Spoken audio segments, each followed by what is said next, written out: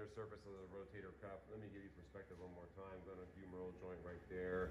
Little labral frame this gentleman, but the problem is not labrum in this particular case. I, subacromial uh, pathology. How do I know? It's based on history and physical exam. So I'm focusing on subacromial pathology. So he had a, uh, he's got an undersurface rotator cuff tear. So what I'm doing is I'm debriding it, and, and as I'm sort of exploring it, I discover this. He's got a, he actually had a calcification. Look at that. Look at that. Actually had a calcification that I, I didn't actually see on his X-ray. Yeah, undersurface rotator cuff. A little calcification. A lot of people think the calcium is solid. Look at that.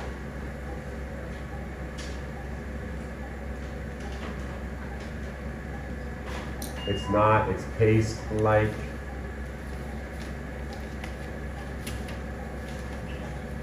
Okay, all I'm doing is pushing and you can, uh, I'm gonna have to flush all this out.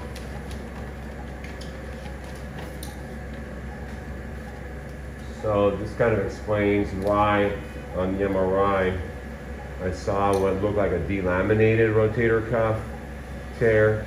So uh, this calcium deposit is actually embedded in the rotator cuff. Once again, let me give you perspective. Let me rotate this around so you can see where we are.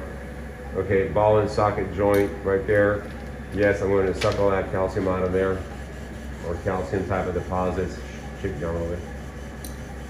Yeah, yeah, yeah. Okay, this uh, device that I have in there actually sucks.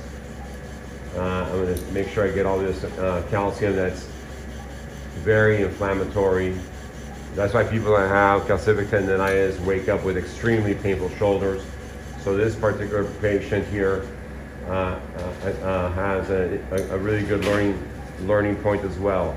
There's some uh, degenerative labral pathology here and a little bit here and there, but the, the symptoms and history were subacromial type symptoms, subacromial space symptoms, which means uh, pain raising the arm up,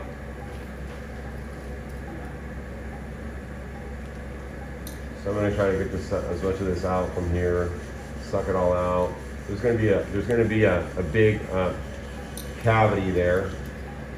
That's what this stuff does. It just leaves a big cavity, basically a rotator cuff tear.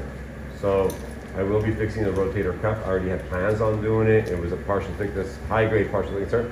You can see there's a discoloration right there. Let me change the color a little bit. There's actually a discoloration. There's actually more calcium right there.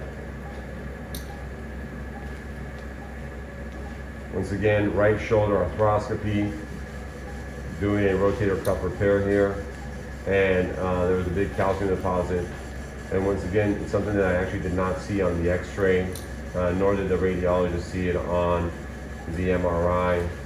And here we are doing the debridement, and then I'll be doing a rotator cuff repair. Just wanted to share with you what calcific tendonitis really looks like.